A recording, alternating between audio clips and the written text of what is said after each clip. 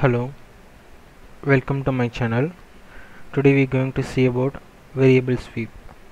So variable sweep is one of the option uh, in the sweep menu. And uh, variable sweep is a different uh, size of a shape we able to modify in a particular tool. For that first I'm just drawing a basic line then go to sweep variable sweep. There is a shortcut for variable sweep. V enter. So I mean just press the v button in your keyboard. Then draw any basic shapes circular star anything rectangle or something. I'm just taking a circular shape. Then maximize the menu of the variable sweep and go to the secondary sections. In that arc length.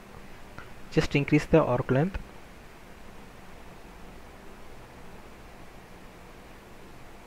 Just click that dimensions display on the menu and go to make constant to edit, edit or modify the dimensions.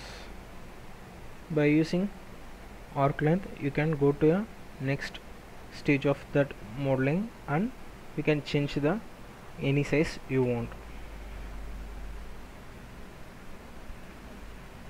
this will be useful for uh, designing exhaust flower vase or some other typical curvature designs and uh,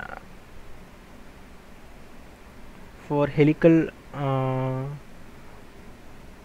toroidal helical and spring complex manufacturing parts like uh, distant it will be very useful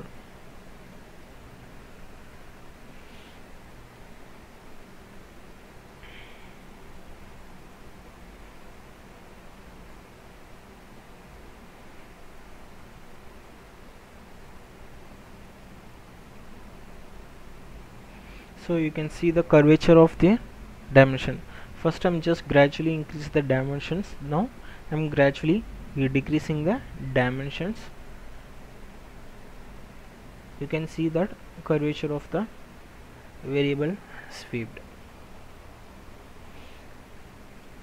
in other softwares like SolidWorks and uh, Creo something there is a loft or something sweep or other options will be there it uh, it has to draw draw the different uh, dimension of the section in different plane and then we have to match that all the edges of that diagram. In in NXCAD we have the variable sweep which is more efficient than that. You can see this. I'm just going to make this look better. I'm going to make it as a shell object shell from command finder uh, it's a 10 mm, okay 10 is so big 5 8 8 is so small. Okay I'm just giving a 2 2 is also I think so it's a bit thicker. I just want to make it a thinner. Okay fine it's a perfect. So now I'm going to hidden the edges and the datums let's see how it is look like. Control plus W for hiddening lines datums and other things. CTRL plus W. It's a shortcut